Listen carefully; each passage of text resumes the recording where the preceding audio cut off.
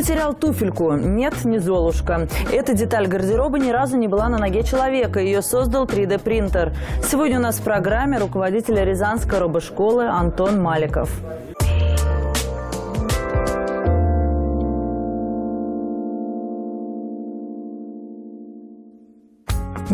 Роботов, танковые полигоны, интеллектуальная бытовая техника, создание конструкций, программирование, 3D-принтеры, которые печатают детали для роботов, соревнования по робототехнике, прототип катушки Теслы и многое другое обо всем в нашей программе.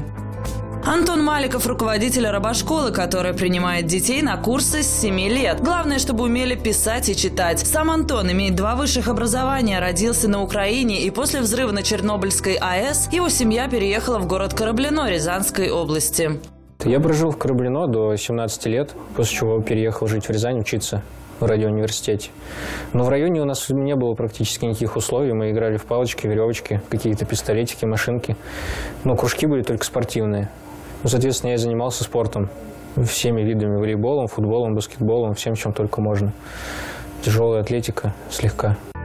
Школа с серебряной медалью, затем подготовительные курсы в ВУЗе и поступление. Одного балла не хватило, чтобы попасть на специальность информационной системы и технологии. В итоге выбор пал на информационно-измерительные системы и технологии. Добавилось одно слово, но специальности оказались совершенно разными. Вместо программистов – электроники, разработчики плат – совсем другой мир.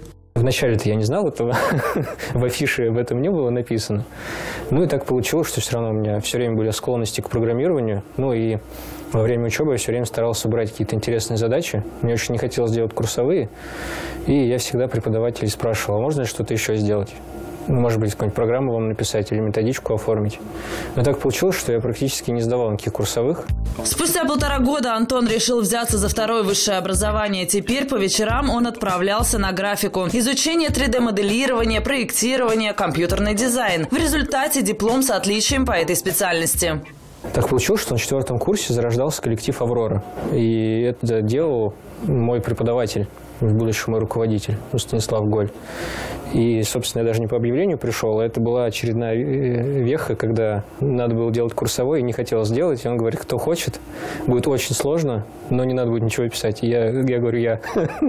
Конструкторское бюро «Аврора» сейчас занимается крупными проектами, в том числе создание беспилотной техники, автобусов, тракторов, а также ведет работу над разработкой энергосберегающих объектов, таких как катера на солнечных батареях когда я работал в «Авроре», была какая-то перспектива. Вот-вот, и мы станем богаты, выстрелит, и эта тема всем нужна. И я устал ждать. Так я чуть-чуть надорвался. И мы с супругой, как раз она из того же коллектива, она тоже была аспиранткой, решили, что надо бы чем-то ну, отделиться. И так она зародилась рабошкола. Это сейчас под началом Антона обучаются около полутысячи детей. Среди них есть два десятка девочек. А в декабре 2013-го было лишь желание, энергия и, видимо, силы, чтобы добиться результата. Нам было необходимо провести соревнования. Мы зачем-то так придумали, что нам нужно провести в феврале отборочные соревнования, чтобы повести детей в Москву. Причем так получалось, что мы свои соревнования проводим и буквально через две недели в Москву ребят вести. А у нас как бы ни клуба, ни детей, ни понимания, что делать, ни оборудования. Точнее, оно какое-то было непонятно какое.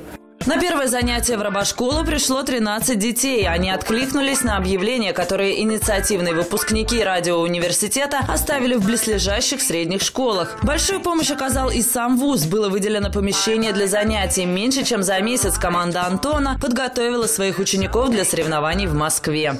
Но когда с этим справились, дальше уже было понятно, что мы совсем справимся. К соревнованиям у нас уже было около 40 детей в кружке которые участвовали.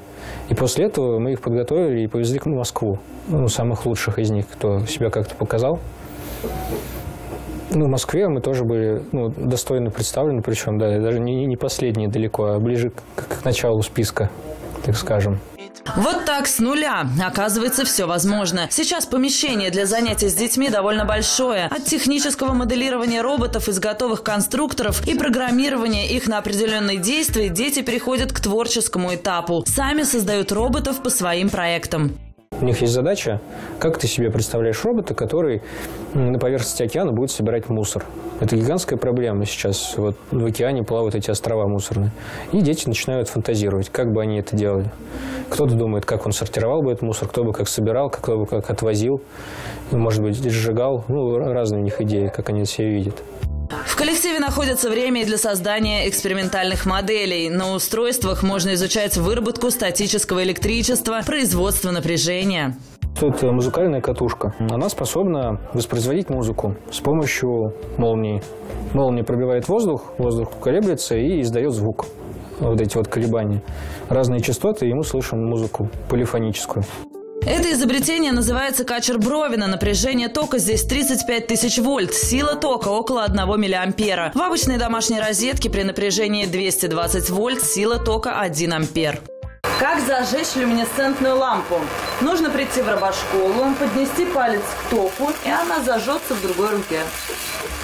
Это безопасно для человека, но спустя время пальцы начинают болеть. Стоит сказать, что занятия для детей в робошколе платные, однако со временем для многих они переходят на безвозмездную основу. Сейчас у нас 6 филиалов на данный момент. Будет 7 с февраля. Она не по всему городу. Это основной, где мы сейчас находимся, в радиоуниверситете, бизнес-инкубатор. А, еще Дашкова песочни в центре города, в школе. В Конищево еще в одной школе. Открыли новый офис свой, уже личный, не на базе каких-то заведений, а просто свой офис э, рядом с цирком в бизнес-центре Никольский. Антон говорит, что одним из важных направлений в образовании будущих робототехников является геймификация. Гораздо интереснее собрать игрушку самому, чем купить ее в магазине. Тем более это полезно. Кроме того, преподаватели робошколы вытаскивают детей из виртуальной реальности. Это подготовка к мероприятию для активной площадки «Танковый полигон». Здесь будет большая трасса, 3,6 на 9 метров, и можно будет устраивать бои танков 5 а, на 5 командами. А, танки могут друг друга ранить, у них 4 жизни. Э, задача или вывести из строя всю команду противника или захватить их базу. Здесь только макет, а в реальности за неделю до нового 2017 года и спустя неделю после в одном из крупных торговых центров появляется площадка, где эти макеты становятся прототипом популярной компьютерной игры, в которой происходят танковые сражения. Но это далеко не все. Там будет э, очень много разных активностей, 13 площадок. Можно будет э, самим полетать на квадрокоптере, поуправлять им на летном поле, поуправлять гоночными болидами. Э, будет танковый полигон очень крупный. Можно будет командами 5 на 5 человек сражаться, захватывать базу, побеждать. Очень много интересного. Приглашаем всех. Это новогодние праздники. Приобщайтесь к миру роботов. Вот так идет развитие робототехники. Заинтересовываются люди с самых ранних лет. А ведь у организаторов робошколы есть одна хорошая цель. Мы хотим вырасти до большой структуры, которая будет способна поддерживать эти коллективы. Выделять им бюджет, давать им базу производства, чтобы они делали свои стартапы, делали инновации. То, о чем так много говорят, и, ну, редко где видно. Мы начали снизу эту всю историю. Ну, вот такая концепция. Мы растим себе кадры, мы растим юные дарования, э, таланты, которые будут объединяться в команды и делать свои проекты. Если у них не получится, они всегда могут пойти на работу. Э, и поскольку они будут специалисты с опытом, они будут весьма востребованы, потому что эта проблема есть. Но это очень долгое, долгий проект. Это все на 20 лет вперед.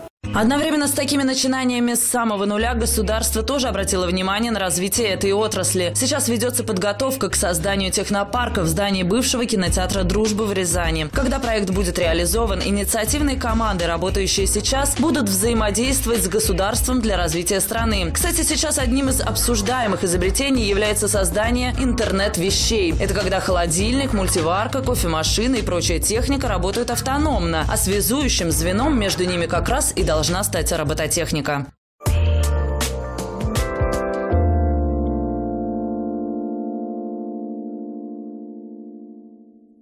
В следующей программе «Человек в городе» мы познакомим вас с Викой Тугаревой. В свои 8 лет она выступает в хоре, читает книги по 600 страниц одну за другой и рассуждает как взрослый человек. Возможно, это не удивительно, но ребенок живет с серьезной болезнью. Она хрустальная девочка.